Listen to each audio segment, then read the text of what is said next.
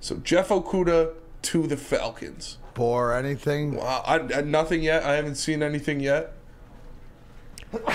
Um, I've not seen anything yet. But wow, Ten point six million off the books. Damn. I wonder. I wonder if the Lions. If you guys want to get granular, Who I said bet it before that they weren't going to pick up the option or whatever like that? Wow, I'm going to pay attention to your tweets. Uh, just got him off the books. Opened up a lot more right there, Neal.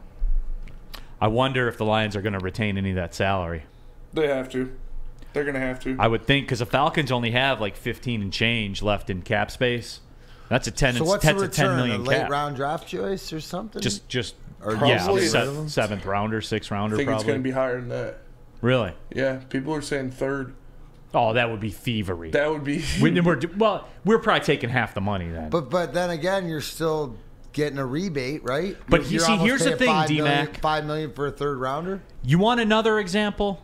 You want another example? Is this Brad Holmes cooking? Here's where it is. Brad Holmes home cooking. because they're in the situation they're in with the cap and the cap space. If the Lions are getting a higher round draft pick, they're retaining some of the money. Right, the Steve Yzerman hockey, you get it. Uh, He's re- he's weaponizing cap space. Weaponize the higher the draft picks, usually using more money. But it's So, but either way, even if it's just a straight give for a seventh rounder, ten point six off the books. Per What do Tom Pelissero, the Falcons are trading a 2023 fifth round pick to the Lions. okay, for so Jeff probably a minimal, probably a minimal amount of salary cap. three million.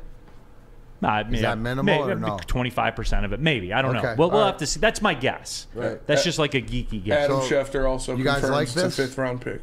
Yes, I do like it. And here's another reason I like it. Let's go deep in the woods. So, breaking news, everybody. The Detroit Lions have traded Jeff Okudah to the Atlanta Falcons for a fifth round draft pick. So, Okudah's $10.6 million cap hit goes off the books. We'll see if there's any salary being retained or exactly what the story is with it. But Jeff Okudah traded to the Atlanta Falcons for a fifth round draft pick. Not you heard it here first. not Well, sure unless you it- unless you looked at Tom Pelissero's tweet. Yeah. Not sure if it was a trade or the mock draft, but pants are still swole. like where we're going. D Mac, if it lasts more than 48 hours, you should contact somebody. All right, or you thank should just keep it and be in awe. Uh, whatever. Uh, stuff happening here, folks. Like stuff is cooking right now.